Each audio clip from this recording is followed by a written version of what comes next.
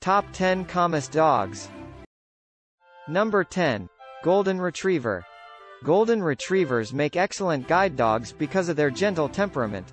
Characterized by its lush golden coat, this breed also has an upbeat and friendly disposition to match. Being one of the calmest dogs makes them well suited for search and rescue operations or as guide dogs for the blind and deaf.